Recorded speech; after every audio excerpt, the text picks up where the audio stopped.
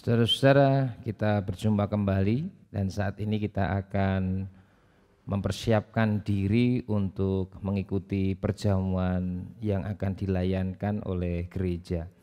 Oleh karena itu, mari kita menyatukan hati, kita mengaku di dalam hati kita masing-masing bahwa pertolongan kita adalah di dalam nama Tuhan yang menciptakan langit dan bumi. Kasih karunia damai sejahtera dari Allah Bapa dan Tuhan Yesus Kristus ada pada saudara sekalian. Amin.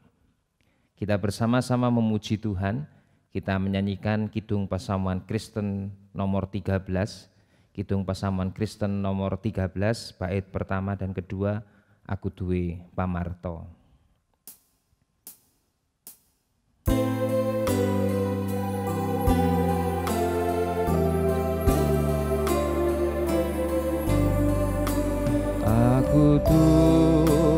Pamarto Yesus Kristus asmanya.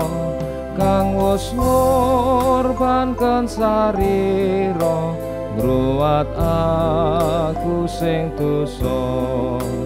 Duweku duweku Gusti Yesus pamartaku tak puji terus sing kalbu aku duwe pamarto satuhu hu engkau setia yen aku nyonggo panandang pinaringan karosan tuweku duweku Gusti Yesus pamartaku tak puji terus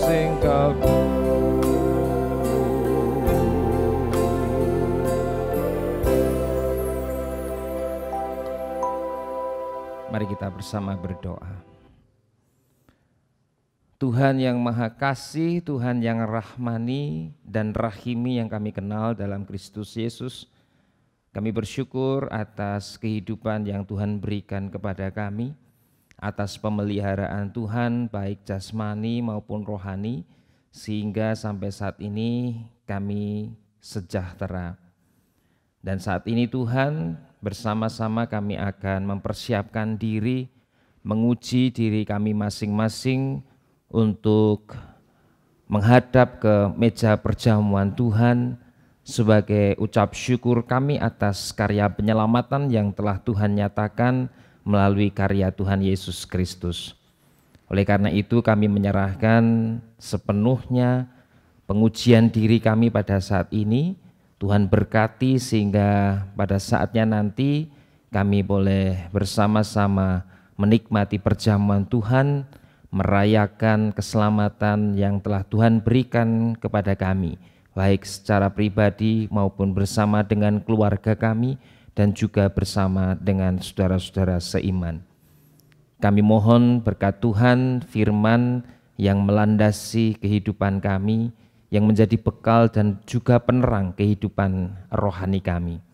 Berfirmanlah Tuhan, kami siap untuk mendengarkannya.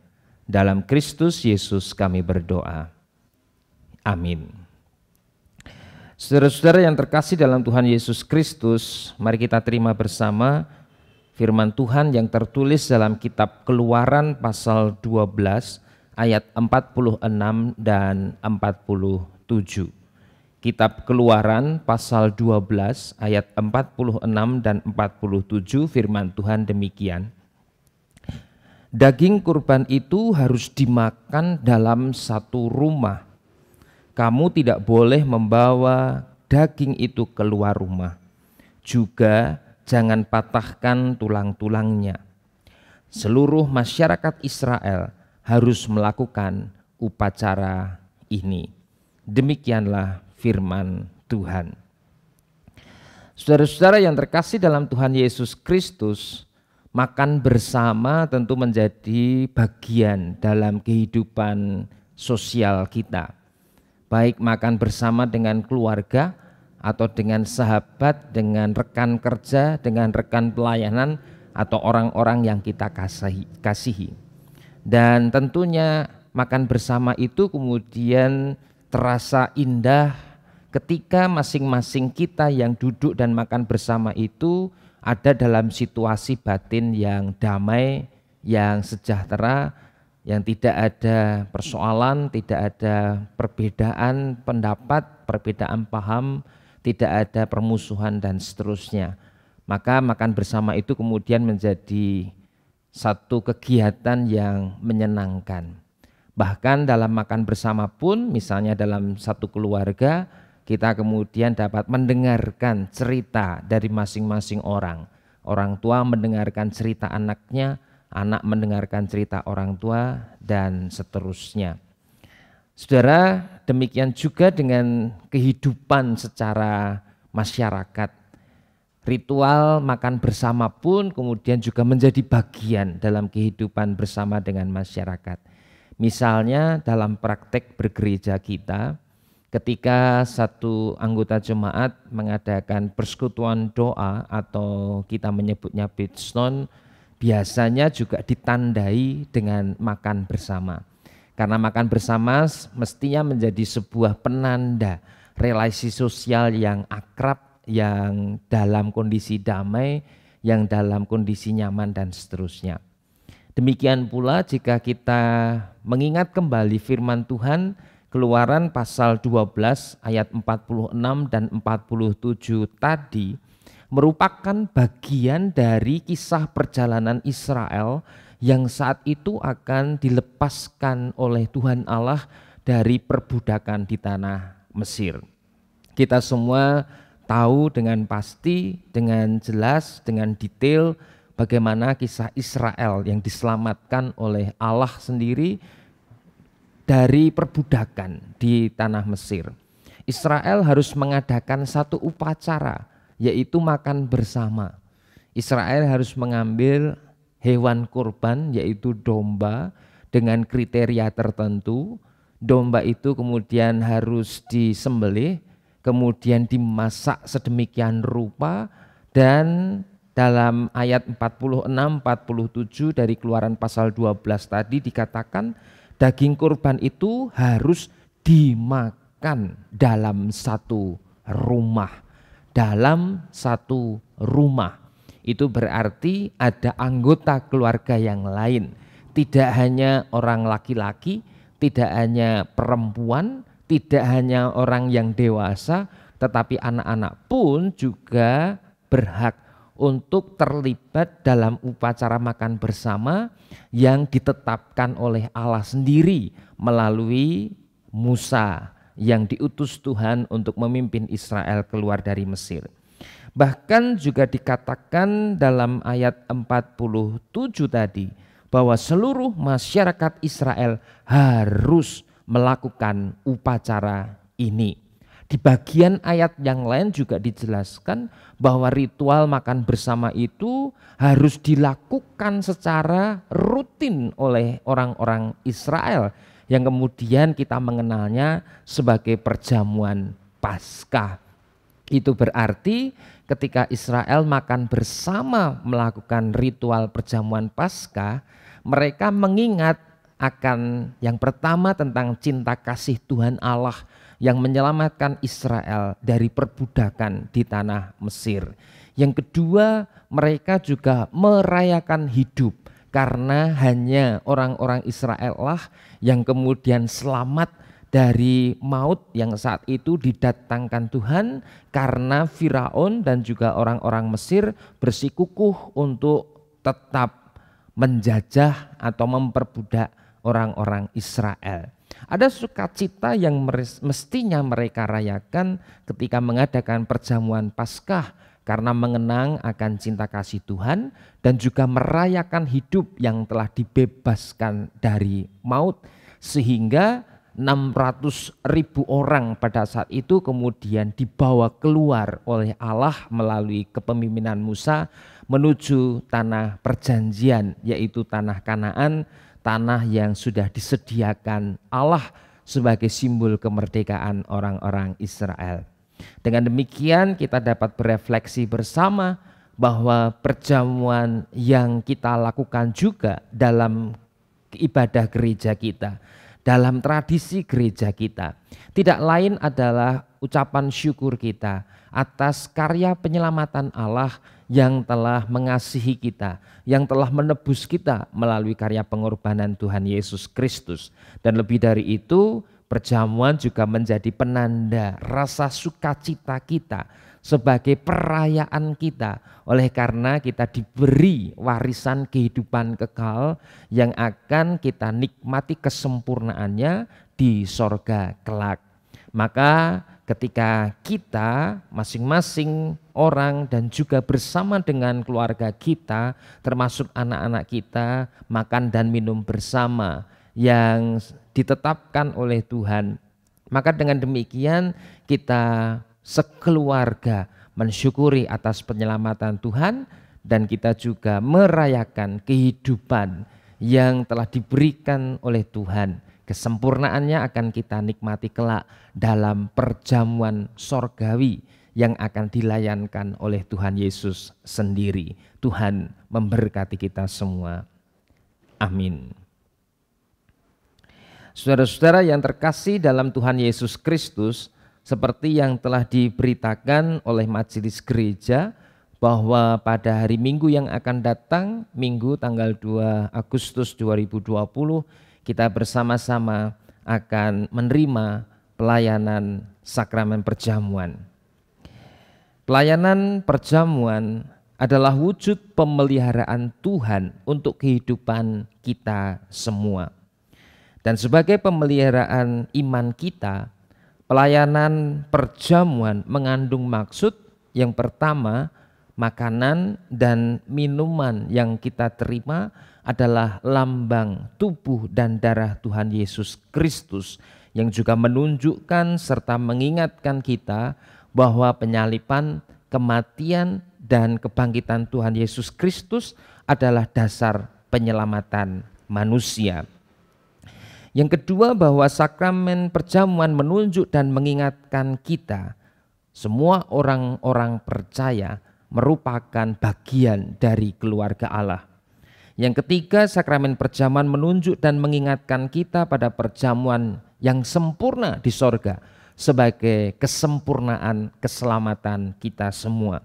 Dan yang keempat, sakramen perjamuan menunjuk dan mengingatkan kita pada penderitaan pengorbanan Tuhan Yesus Kristus dan pemberitaan itu akan terus kita terima sampai akhirnya ia datang yang kedua kalinya nanti. Dalam perjamuan bersama kita juga melibatkan dan mengundang anak-anak kita karena anak-anak kita pun juga berhak untuk menerima keselamatan dari Tuhan dengan mengingat akan firman-Nya biarkanlah anak-anak itu datang kepadaku, jangan kau halang-halangi mereka. Saudara-saudara yang terkasih di dalam Tuhan Yesus, pelayanan perjamuan pada dasarnya disediakan bagi setiap orang yang mau menyadari dan menyesali dosa-dosanya serta memohon pertolongan Tuhan agar ia dapat melakukan semua perintah Tuhan. Oleh karena itu agar pelayanan perjamuan bermanfaat bagi kehidupan iman kita semua.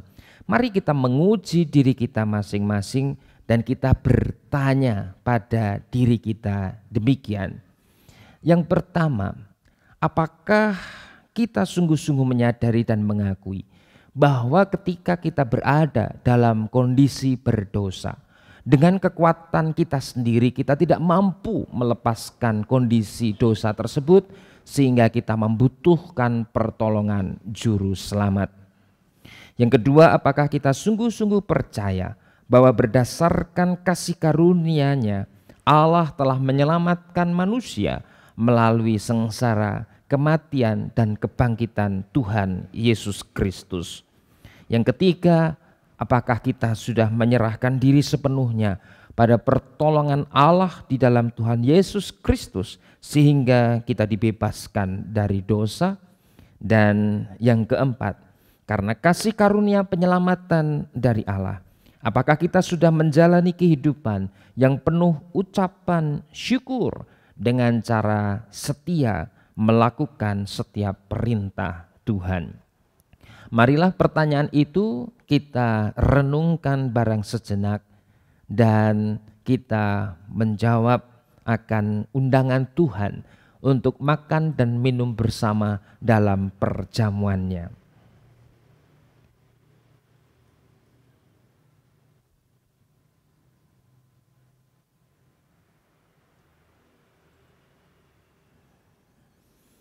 Saudara-saudara, bagi setiap kita yang ingin terlibat dalam perjamuan keluarga dan menanggapi undangan Tuhan untuk mensyukuri karya penyelamatannya dan juga merayakan kehidupan pemberian Tuhan.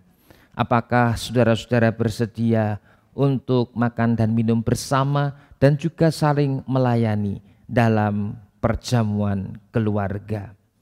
Jika saudara-saudara bersedia, silakan menjawab dalam hati masing-masing, "Iya." Dengan segenap hati saya akan mengikuti perjamuan. Saudara-saudara yang terkasih dalam Tuhan, mari kita memuji nama Tuhan kembali. Kita menyanyikan Kidung Pasaman Kristen 152, Kidung Pasaman Kristen 152 bait pertama dan yang kedua Yesus Sang Pamarto.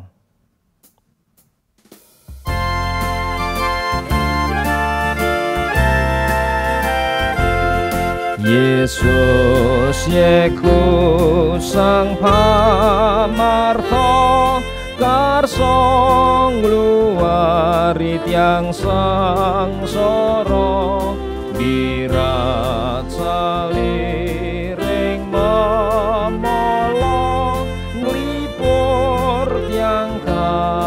ngàn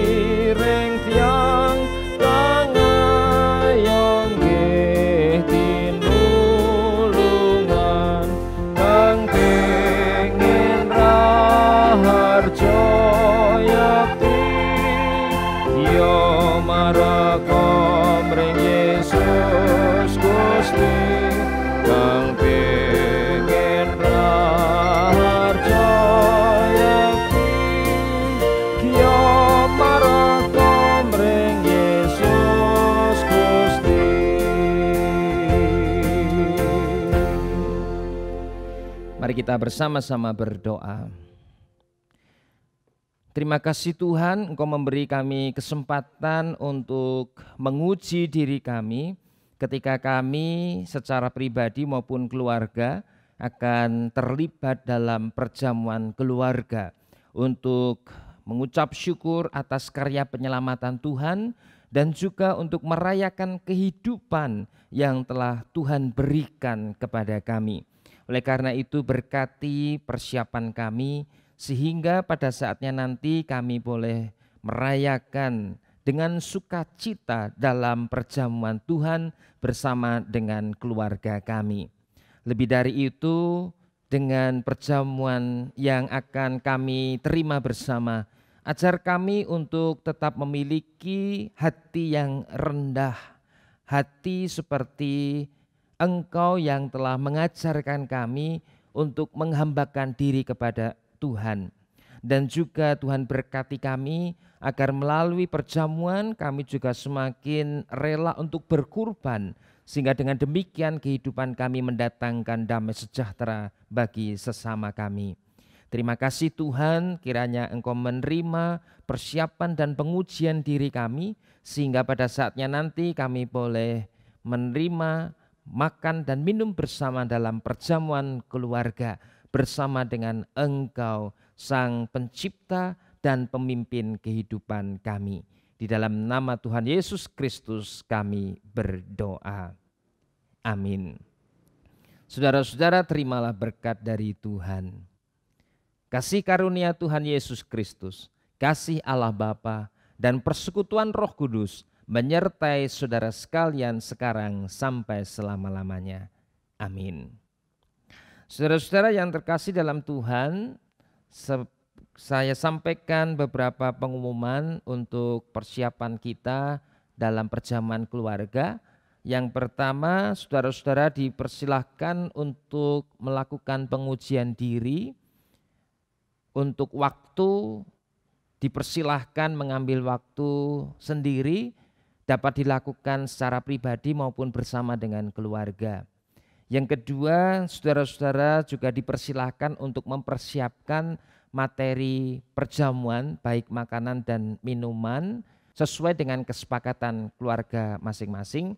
Dan yang ketiga, diharapkan untuk anak-anak dipersiapkan oleh orang tuanya diajak untuk berdoa atau juga diberi pengetahuan dan cerita tentang Alkitab, tentang kasih karunia Tuhan, sehingga kita boleh bersama-sama merayakan keselamatan yang Tuhan berikan kepada kita dalam perjamuan keluarga yang akan kita nikmati bersama nanti.